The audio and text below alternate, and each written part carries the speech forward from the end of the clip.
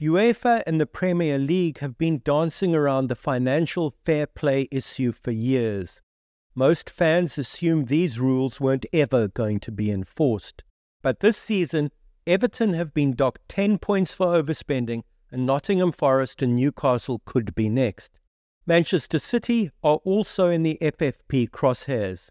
This year promises to be a watershed moment off the pitch. Welcome to the Luke Alfred Show. I have 30 years of experience on the front lines of sports journalism, covering some of the biggest games in cricket, rugby, the FIFA World Cup, and even the Olympic Games. Come and join me as we learn about some of the greatest sports stories you've never heard. I'm Luke Alfred, and welcome to the show. One of the rolling themes of the Premier League season so far has been the worldwide discussion about financial fair play, or if you prefer, the rules of profitability and sustainability. The debate applies most obviously and dramatically to Manchester City, so let's begin there. The City saga dates back to nine seasons between the 2009 10 season and the 2017 18 season, and is therefore the longest running period of alleged breaches in the history of the game.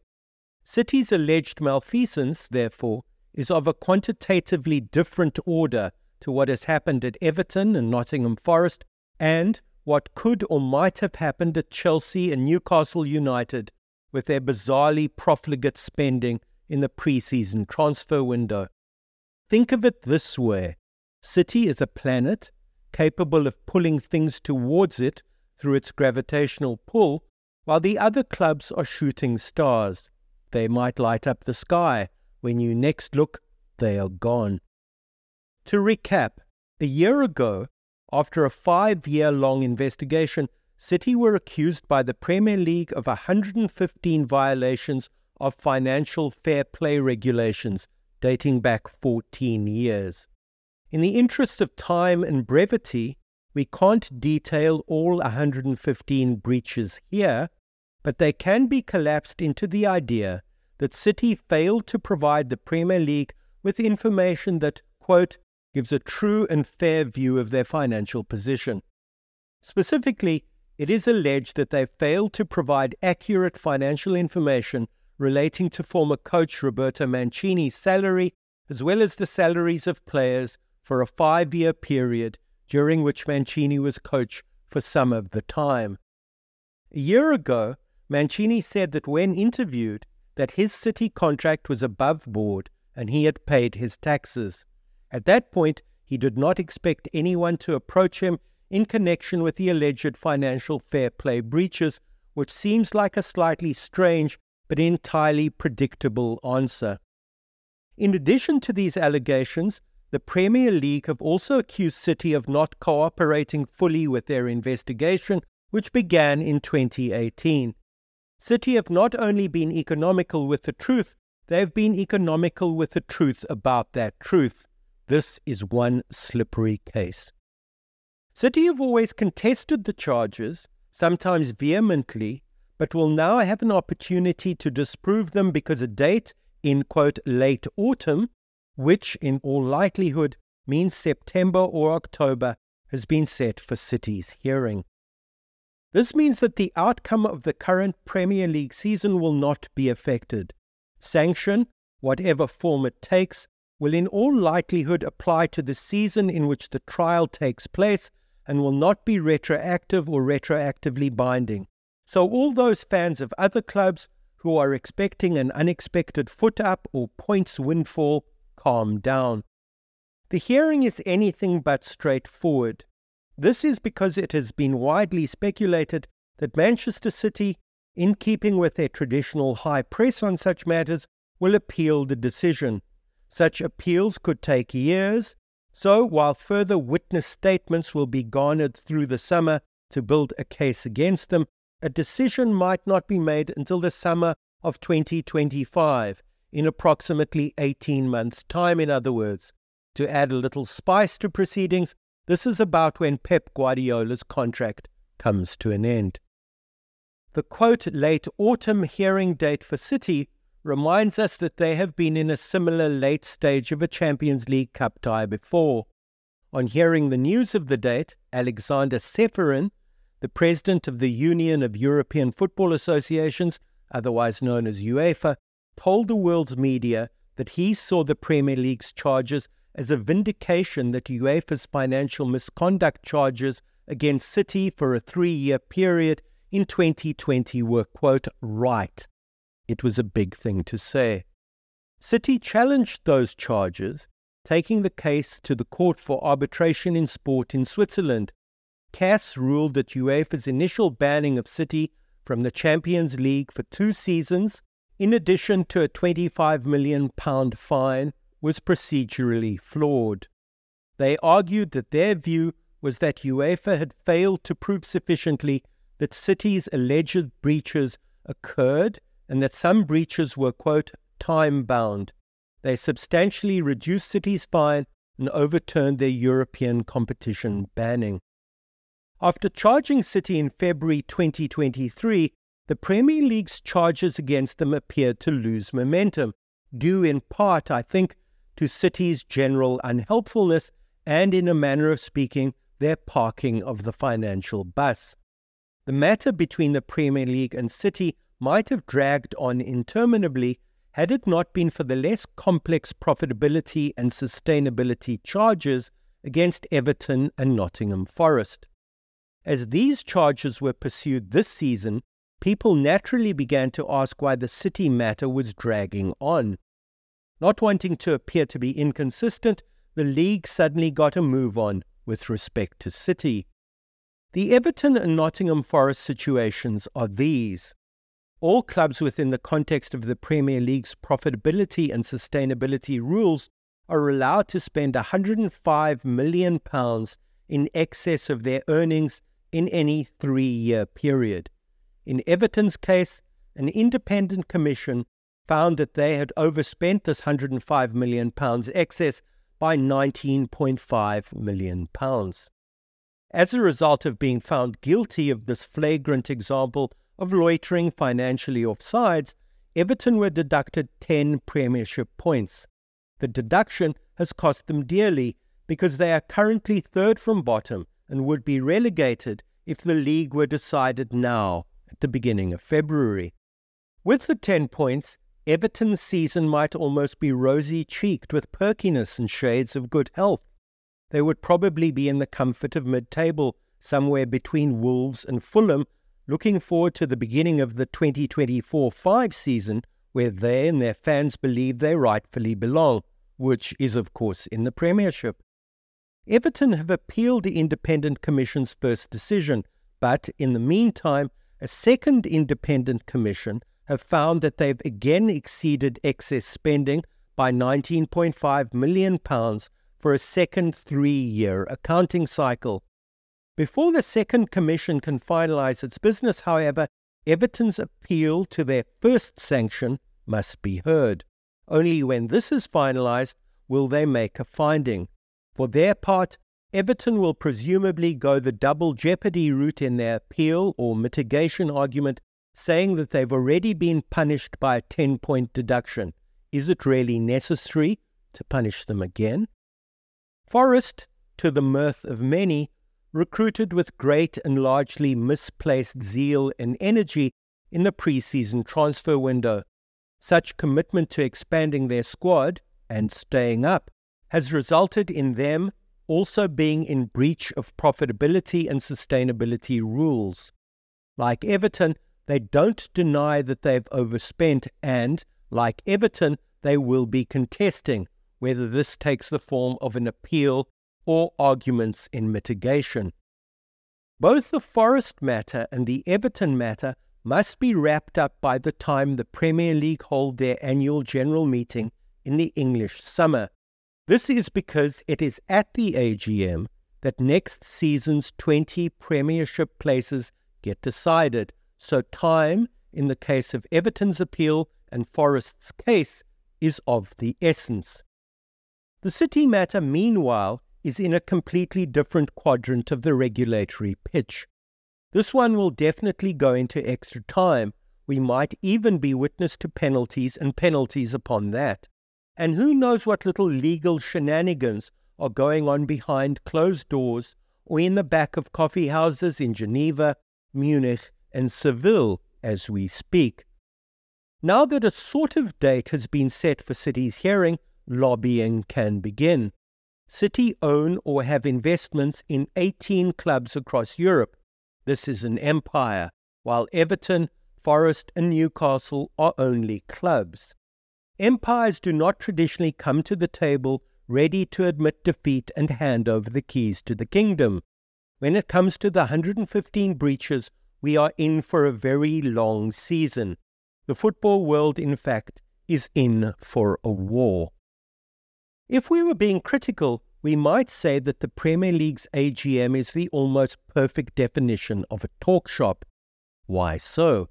Well, because the Premier League is a members' organisation made up of club representatives who tend to see things, understandably, in terms of narrow self interest. To be clear, narrow self interest is what is whatever's good for Arsenal, or Liverpool, or Everton, or Nottingham Forest for that matter. What is best for the professional game of football in England is secondary to what is good for a club, and blocks of clubs, like the established league founders, for example, should it come to that. The problem hasn't gone unnoticed. There has long been talk, again that word, talk, of a statutory body for oversight in English football, a regulator, in other words. The matter was raised in the House of Commons in 2023 a white paper was circulated which should all set our hearts a racing with little flutters of expectation.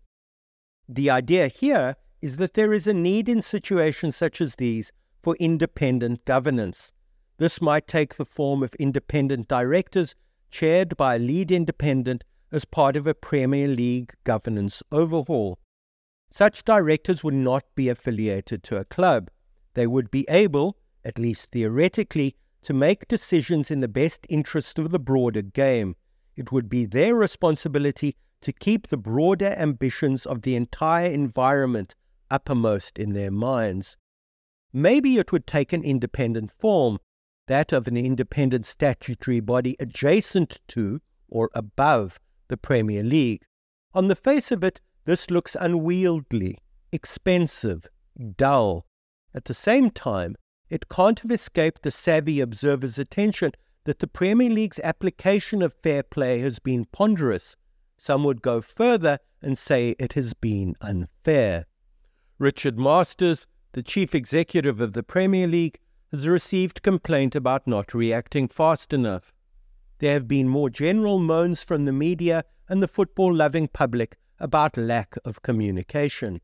There are times when the saga, with so many moving parts does seem fiendishly difficult to unravel. It also takes place within different time frames. The City time frame is different to the Everton time frame, for example, which further clouds the issue. Forgive me while I interrupt a sports story to tell you about the Luke Alfred Show Patreon. As you may know, being a writer is not the most lucrative career choice. Please consider making a small donation to keep the show going at patreon.com forward slash The Luke Alfred Show. But for now, let's get back to the story. The charges against Manchester City were levelled a year ago in February 2023, yet the FA didn't appear to be dealing with the matter with any great urgency. That was until the Everton overspend happened, and that was until Forest's feeding frenzy.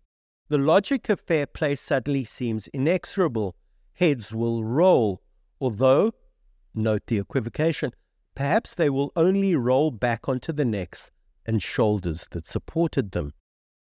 One of the buried assumptions of this week's episode is that we all know what we're talking about when we evoke phrases like FFP and profitability and sustainability rules.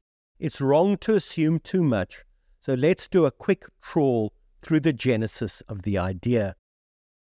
There was once a time, remember, when clubs didn't simply fold, they went belly up. Think of Glasgow Rangers, think of Leeds United, think of Portsmouth, who were high profile and had nine points deducted when they collapsed in February 2010. And let's not forget Queen's Park Rangers and Derby County, Luton Town, and Southampton, or, for that matter, casting our gaze further afield, have a good look at the travails currently of Barcelona and Juventus. The method of going belly up might have been subtly different each time. It might also have been given a different name. Some called it receivership, others talked of dissolution or voluntary liquidation. The clubs sometimes re emerged under a different owner or a consortium of owners or an overseas owner.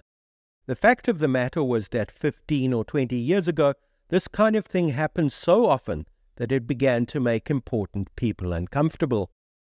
The converse of this idea is that football clubs have a remarkable and frankly lovable knack of landing on their feet. They might leak money, true.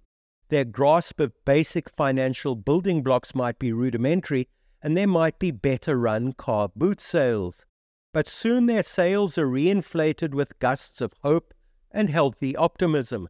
Clubs have been known to come clipping back through the incessant football waves. As part of this story, it's important to know that in 1992, the top flight of English football was rebranded as the Premier League.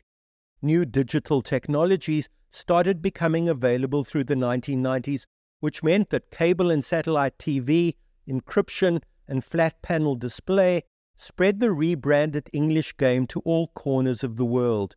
This included the Middle East, the Far East, the former USSR, North America, and Africa. As a result of rebranding and the reach of satellite TV, wealthy, frequently hopelessly vain men were turned on to the Manchester Derby or the Liverpool one. They looked at Arsenal or Spurs or Chelsea and they liked what they saw. Once, a 130 years ago, it had been a gold rush. Now it was a goals rush. The lust for clubs and goals, goals and clubs, had begun. One of them, Roman Abramovich, started circling over Chelsea owner Ken Bates. Forty years ago, Abramovich would have bought newspapers or media empires, but that was old biscuit, not sufficiently sexy or glamorous enough. Instead, he bought Bates's club from him. Once the deal would have been sealed with a good malt whisky. But, according to authors Simon Kuper and Stefan Szymanski, the two rather shook hands over a bottle of Evian water at a swanky London hotel. Abramovich was a worrying figure with a shady past. Was he villain or saint? Pro regulation administrators saw him as a character type, the football sugar daddy. They wanted clubs to, this is by now a famous phrase, quote, live within their means which is the quintessence of fair play and sustainability thinking. They wanted owners to be reputable individuals or groups or consortiums who passed the, quote, fit and proper persons test. They worried that big money would inflect the game away from the middle and make it the playground of the unaccountably super rich. They worried that football clubs would become unmoored from their traditional communities to become free floating pan global entities. Their fears seem to have been realized. Under Sheikh Mansour and his Abu Dhabi group, Manchester City have won the league six times in the last 10 years and five in the last six, the only exception to that being Liverpool's win of the title in 2019 20, in which City were runners up. There is another aspect to all of this which, for the sake of simplicity, we can describe as the tension between appearance and reality. Clubs are outward facing. What happens on the pitch is everything. What competitions teams win, which players play for them, and how they go about winning counts for a great deal. Or does it? What fair play and sustainability rules are really saying is be transparent and, importantly, be congruent in the way that you conduct your business. Let your back end work in the way you'd like the fans to see your team work on the pitch. It's quite clear that Chelsea's recent recruitment is of the try and pin the tail on the donkey while blindfolded type. Nottingham Forest have gone on a recruitment bender. Farhad Moshiri, the Monaco based British Iranian businessman and owner of Everton, has clearly not put appropriate checks and accounting balances in place at his club.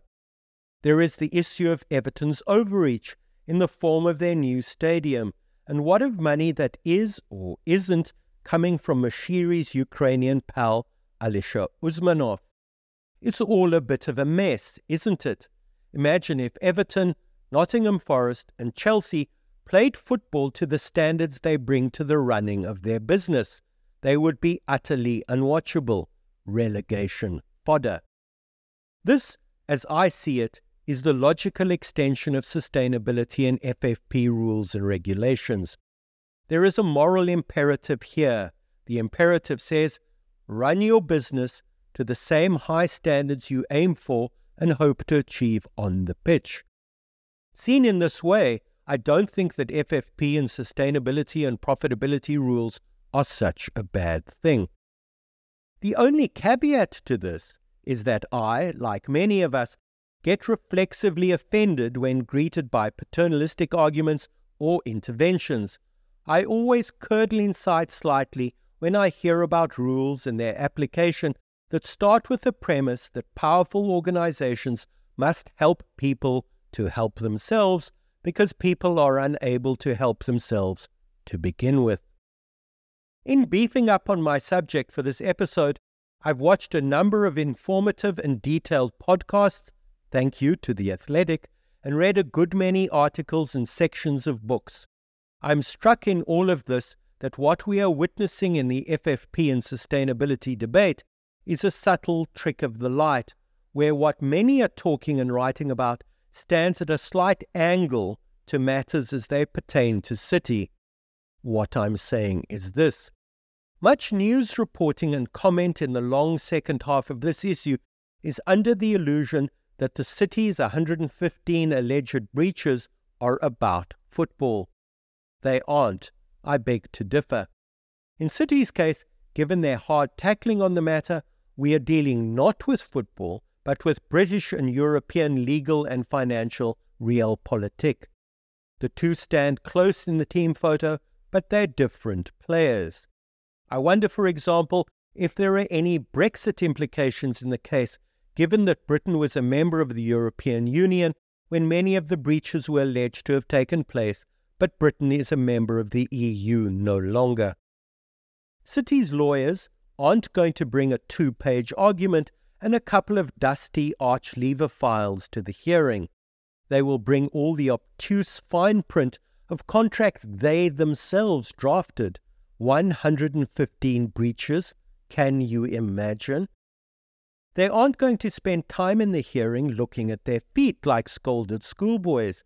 They will bring fair means and foul to matters as they unfold in the late autumn. Haven't they already tried to discredit the Premier League appointed barrister because he's an Arsenal supporter? I believe the media ought to know all of this, and some of them do, and some of them are being disingenuous not to tell us that this hearing will dawdle through the months for years. This is not exciting news. We crave closure. The Premier League season opens, proceeds through a drab middle, enlivened slightly by the presence of the January transfer window, and closes. Our Amazon Prime series open and close, periods of employment open and close. But all these things taken together constitute life, and life tends not to be as clear cut as a mini series on Netflix. Finally, I don't believe enough has been made of the comments made by UEFA President Ceferin. You might say that this is nothing more than a case of sour Slovenian grapes. Ceferin is a Slovenian, by the way, but I think what he said is germane to the City case. He's been UEFA president for going on seven and a half years, so isn't some fly by night carpetbagger with a small office above a repair workshop in which you are offered your coffee in polystyrene cups. No, sir. He knows what he's talking about, so when UEFA gunned for City, they knew what they were doing. Or did they? Perhaps City knew better. Whichever way you look at it, profitability and sustainability, once a toothless wonder, is beginning to bite. The 10 point deduction from Everton shows that. The January transfer window showed that too. Suddenly, the market was filled with loans and loan recalls, a way of freshening your squad without spending money on anything but additional salaries. The clubs might be wrapping their financial heads around the idea that they can't simply spend money they don't have. It's basic housekeeping about bloody time. If you enjoyed this episode of The Luke Alfred Show, please give me a five star rating. As an independent creator, this podcast is made possible through your support